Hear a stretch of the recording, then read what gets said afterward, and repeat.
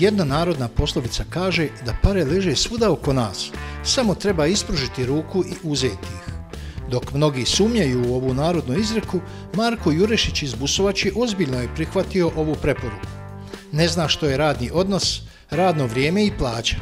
Međutim, kako kaže, odlično živi i hrani svoju šesteročlanu obitelj. U proljeće lovi žabe, u ljeto bere borovnice i gljive, u jesen brusnicu i traga za kristalima, a obskrbljuje i tri cvjećarnice sa zelenilom. Pogledajte njegovu neobičnu priču. Dolgoško jezero na najvišoj visini, brusnica koja se koristi za čajeve, ljekovita je, prirodna je uglavnom što je najbitnije iz prirode. I koristi se za mokrašne kanale, za prostatu, čisti bubrege i svašta još nešto, puno toga znači. S borovnicama vrlo dobro prošlo, bilo je, rodila je ove godine pravu, znači radilo se uporno jedan mjesec dana, vrednosti 6000 maraka, najmanje to što sam uložio u kuću.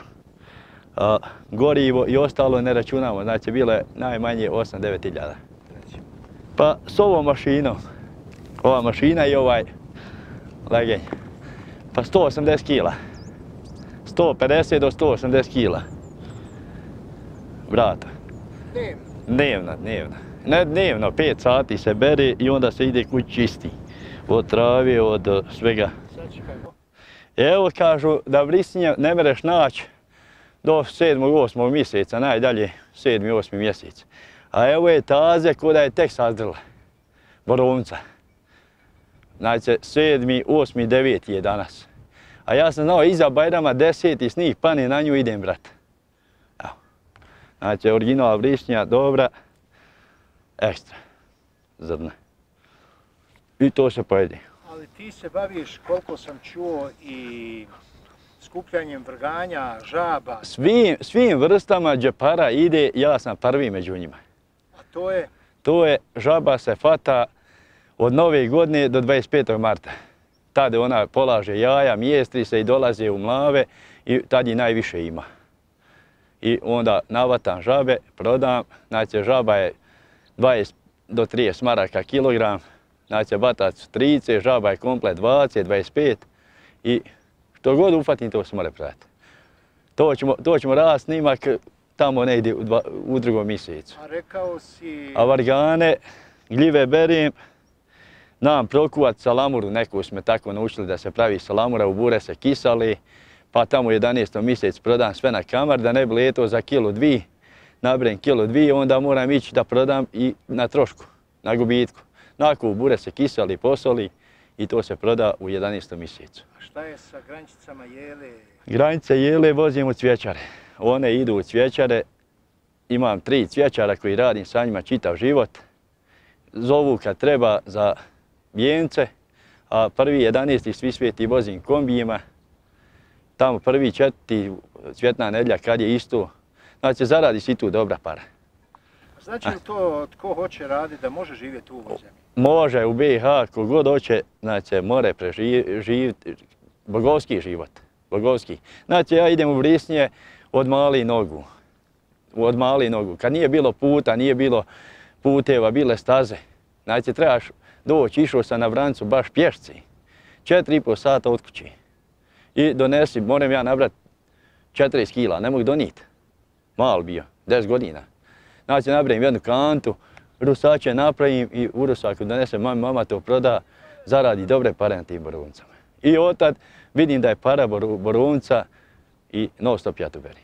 Znači, u firmi nisam, plata ne znam šta je, ostvario sve moguće, kuću napravio pušnicu, štalu, šupu, auto, kombi, sve imam, znači da mora se živjeti. Kogo god imalo oće.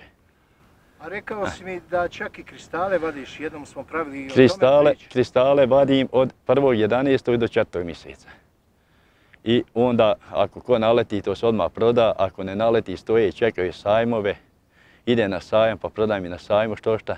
I tako i tu je posao biznismen. Markovu priču o kristalima na kanalu YouTube pogledalo je preko 200 tisuća gledatelja. Pitali smo ga je li uspio prodati veliki kristal koji je pronašao u Crnom potoku kod Busovači. Pa taj kristal otišao. Otišao je za Belgiju. Javili se par ljudi, sve doće, doće, niko nikad. Ali ovaj se javio, iskren čovjek, pošten i došao odmah, pa njega odmah je to otišlo za Belgiju. Eto. Jesi zadovoljan cijenom? Zadovoljan. Ja uvijek zadovoljan, nisam nikad nezadovoljan. Koliko bude, dobro je. Šta je još zanimljivo reći o, o, o toj brusnici? Je li je samo ima na ovim terenima Vranici? Čitava regija Brdo, znači ispod 1800 do 2000 i nešto metara raste. Znači na nižim predjelima se ne može naći. Eto. I dosta je ljekovita. Svi to ode u, kupi čaj od brusnice, ali u apoteku. Plati će 5 maraka, ni brusnicu nije vidlo. Piše tamo ima jabke, ima svega, sam brusnice je najmanje. I to one brusnice plantažne. Znači ona nije ljekovita ko ova šumska. A možete li vi naći sad tržište za tu brusnicu? Pa ima, ima. Ima kupaca moji stari, a imam i otkup. U otkup cijenu zadnje. Mi realnu, ako je realna cijena, znači ne vodam osjećaj dok će ne prodajem, već odmah otkup sve se da. Dobro, ona, je li tajna koliko ti onda godišnje možeš zaraditi na šumskim plodovima i svi, svom tom svom biznisu? Pa eto da žive normalno. Normalno da se žive, da se sve ima i normalan život.